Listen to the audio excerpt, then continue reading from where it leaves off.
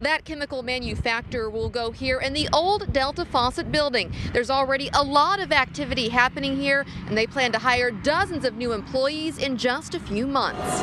As the scoop and stack plays take off in Oklahoma. The high level of activity is attracting a chemical manufacturing company to Chickasha. The company is called Optum Energy Solutions. They produce additives they put in pipelines to reduce turbulence. They were looking for a facility that would meet their needs in the scoop stack kind of region where they needed to be as far as oil field play. Christy Elkins is the CEO of Chickasha Economic Development.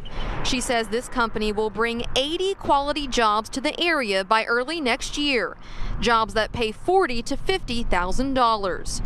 Something she says will help bring manufacturing jobs back to Chickasha, especially since the Delta Faucet operation closed more than 10 years ago. For us to be able to get these kind of good quality living wage jobs back into Chickasha is a really good thing. In Chickasha, Crystal Price, KOCO 5 News.